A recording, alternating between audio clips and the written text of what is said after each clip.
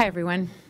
Thanks for being here today. I uh, had the privilege of uh, speaking with the Barrie Chamber of Commerce here at Georgian College, and uh, I had the opportunity to uh, to talk about the, the vision that we have for economic growth in Ontario. And obviously, in a place like Barrie, it's very important that part of that uh, part of that vision is the investment in people. So some of the students here today at Georgian College who were uh, in the uh, hospitality program, uh, students who are in the auto program, they're a very important part of our uh, of our economy going forward.